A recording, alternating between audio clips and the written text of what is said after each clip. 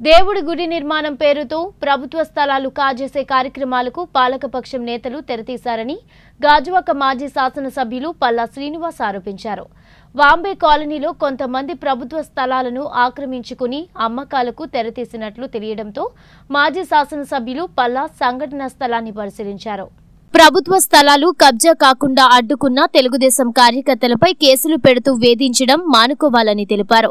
పేదలకు గృహాలు నిర్మించి ఇవ్వాలని కానీ ప్రభుత్వ స్థలాలను కాజేయడం దారుణమని తెలిపారు. దీనిపై జిల్లా కలెక్టర్కు ఫిర్యాదు చేయనున్నట్లు ఆయన తెలిపారు. ఈరోజు ఇక్కడ ఈ సమావేశం ఏర్పాటు చేయడానికి గల ముఖ్య ఉద్దేశం ఈ కొండ మీద గుడి పేరున కబ్జా చేస్తున్నారు అని దాన్ని వ్యతిరేకించినందుకు గాను మరి మా తెలుగుదేశం పార్టీ నాయకులు రక్తి వాసు గారి మీద ల్యాండ్ ఎంక్రోచ్ చేశారు అని చెప్పేసి ఎంఆర్ఓ గారి నుంచి స్టేషన్ ఆఫీసర్కి లెటర్ పంపించి దీని మీద ఒత్తిడి తీసుకొచ్చి స్టేషన్ మీద ఒత్తిడి తీసుకొచ్చి కేసు ఫైల్ చేయించి ఇప్పుడు పార్టీలో మారుతావా మారవా అని చెప్పేసి బ్లాక్మెయిల్ చేస్తున్నటువంటి వైసీపీ నాయకులు ఒక దుర్బుద్ధిని బయట వెంటగట్టాలనే ఉద్దేశంతో ఈరోజు మేము ఈ ప్రెస్ మీట్ పెట్టడం జరిగిందండి.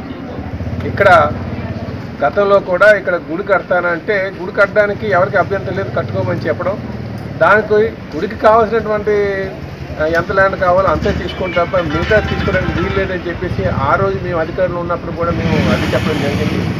మరి ఈరోజు అయితే అక్కడ గుడికి కొంత ప్లేస్ పెట్టుకొని ఇంకా యథేచ్ఛగా ఎంకరేజ్ చేయడానికి ప్రయత్నం చేస్తున్నారు ముఖ్యంగా మరి దొడ్డు రమణ అలాగే మంజుల వీళ్ళిద్దరు కలిసి. గుడి పేరున మా మంత్రి మంజుల. వీళ్ళు గుడి పేరు మీద ఎంకరేజ్ చేయడానికి ప్రయత్నం చేస్తున్నారని చెప్పేసి ఈ సందర్భంగా మేము తెలియజేస్తాం మరి వారికి ఎమ్మెల్యే గారు అండ ఉంది. ఎమ్మెల్యే గారు అండతోనే చేస్తున్నారు అన్నది ఇక్కడ మా యొక్క ప్రధానంగా మేము అయితే ఆరోపణ చేస్తున్నాం. ఇది మంచి పద్ధతి కాదు. లాక్డౌన్లో ప్రజలందరూ కూడా వాళ్ళ ఇంటికే పరిమితం అయిన సందర్భంలో ఇక్కడ మరి వాళ్ళ గుడి పేరు చెప్పి ఎంకరేజ్ చేయడం.